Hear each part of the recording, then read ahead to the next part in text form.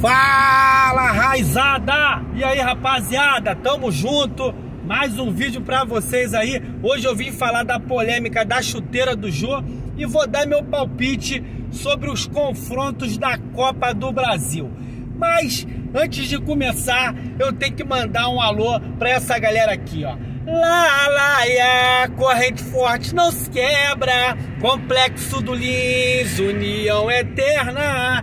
Alô pra galera do Morro do Encontro, Cachoeirinha, Cachoeira Grande, Gambá, Cutia, Morro do Amor, Árvore Seca, AP do Lins, Barreira do Lins, Geral do Lins de Vasconcelo, galera que é fechada com o Ninja Sincero. Tamo junto, um abraço e muita paz pra galera do Lins de Vasconcelo. Galera, se inscreve no canal, toca o sino aí, deixa um like, deixa dislike, comenta e ajuda aí compartilhar para crescer o canal. Valeu? Tamo junto. Vamos começar pelos confrontos da Copa do Brasil.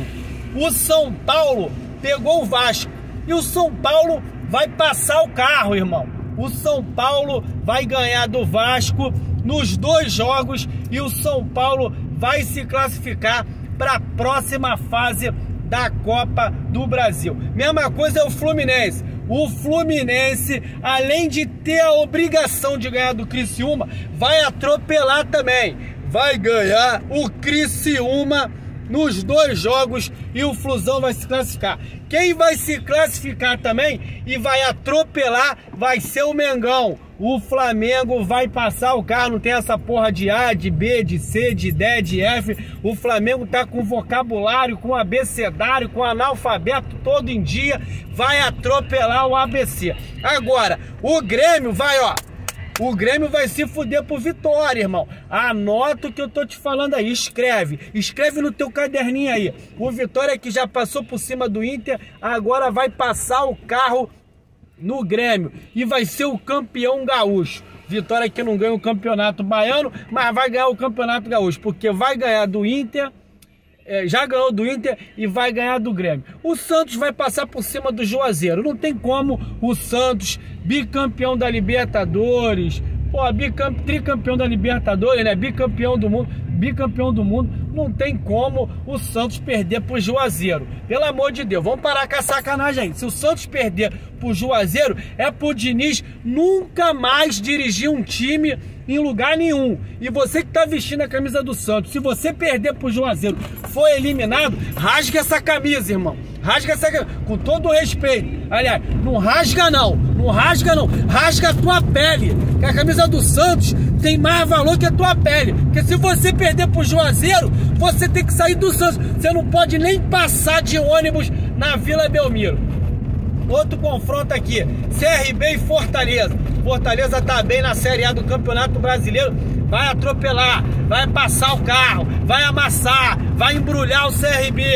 CRB não vai dar conta do Fortaleza e o Fortaleza vai se classificar. Bahia e Atlético Mineiro, irmão. O povo do Axé vai ganhar o Galo. Pode ter certeza disso. O Atlético Mineiro é uma incógnita. Ninguém sabe o que, vai acontecer com o Galo. Um dia joga bem, outro dia joga mal. Aí, ó. Melhor time da Libertadores no momento, mas empatou com a Chapecoense. Empatou com a Chapecoense, irmão. Último colocado do brasileiro. Então, o Axé, a Bahia, o povo baiano vai passar o carro no Galo. Vai ser sofrido, vai ganhar nos pênaltis. O Bahia vai ganhar nos pênaltis do Galo, mas vai se classificar. Ó, eu. Ah, os clássicos dos Atléticos. O clássico dos Atléticos, Atlético Paranaense, Atlético Goianiense. Quem vai passar? Vai ser o Atlético Goianiense. Vai ser o Atlético Goianiense e vai ser jogo duríssimo também. Vai passar nos pênaltis, irmão. Atlético Goianiense vai passar nos pênaltis do Atlético Paranaense. Então é isso. Vai passar Flamengo, vai passar Santos, vai passar Vitória, vai passar Bahia, vai passar Fluminense, vai passar São Paulo e vai passar o Fortaleza. Agora vamos falar do, do, da polêmica do, da chuteira do Jô. Irmão, essa, parra, essa parada mesmo, parceiro. Essa porra mesmo. Tem que punir. tem que punir. Eu tô fechado com a diretoria do Corinthians. Gaviões da Fiel é preto, irmão. Camisa da Gaviões da Fiel é preta. O Corinthians é preto e branco. Os alemão lá do outro lado, o Palmeiras, rival do Corinthians, é verde. É verde e branco. Então, meu irmão, tem que proibir jogador do Corinthians até de comer alface. Não pode botar verde no corpo, irmão. Enquanto estiver jogando com a camisa do Corinthians, não pode botar verde no corpo. Tá com a esteira verde, tá com a verde, com a cueca verde, tá com brinco verde, pulseira verde, que for. É punido. Tá certa a torcida, a, a diretoria do Corinthians. Tem que punir mesmo. Vai botar verde quando estiver jogando do outro lado. Aqui é preto, irmão. Aqui é preto e branco. Aqui é Gavião da Fiel. Mancha verde é verde. Gavião da Fiel é preto. Tá jogador do Corinthians com a, com a chuteira verde. Vai botar verde por causa de quê? Então tem que ser punido mesmo. Valeu, rapaziada. Tamo junto. Um abraço. Só que a pica tá aí, ó. A pica tá até esqueci de falar. Mas a pica tá que a Nike, ela vende essa chuteira aí como azul. Aí vai fazer como? Fala pra mim, como é que vai fazer, irmão? Se a Nike tá dizendo que a porra da chuteira é azul. Se for azul, ó, o jurídico do Corinthians que se foda, porque o Jô vai carcar, vai botar essa porra na justiça e pode ter certeza que o Jô vai ganhar. Porque se a Nike tá dizendo que a chuteira é azul e o Corinthians tá dizendo que é verde, porra, alguém é daltônico nessa parada aí. Então, se é azul, a Nike vende como azul, o, a diretoria do Corinthians vai sentar. Agora, se a parada é verde mesmo, eu bato palma pra, pra, pra diretoria do Corinthians. É, lá é preto, irmão. Preto e branco. Nem alface pode. Valeu? Tamo junto, rapaziada. Hoje tem rodada do Campeonato Brasileiro aí. Não é sempre que eu vou vir falar de Campeonato Brasileiro. Já tô dando logo um papo. Vou pegar, às vezes, alguns joguinhos que me chamar mais atenção, tiver uma polêmica aí pra gente poder comentar, pra gente poder debater. Copa América, parceiro, olha só, não tô nem assistindo, irmão, papo reto, não tô nem assistindo Copa América, porque, mano, não tem mais credibilidade de seleção brasileira pra mim. Eu perdi o interesse de ver jogo do Brasil há muito tempo, não tem mais craque, mano.